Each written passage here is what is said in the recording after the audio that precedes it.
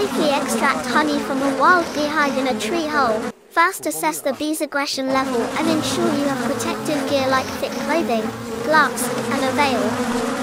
Use smoke from a smoker or smoldering leaves to calm the bees, then carefully widen the hole with a chisel or knife if needed, avoiding tree damage.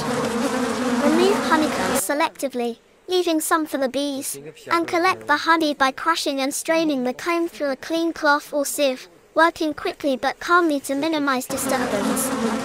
After harvesting, seal the hive opening with mud or leaves to protect the colony from predators. If the bees are too aggressive or the hive is hard to access, consider seeking help from a local beekeeper.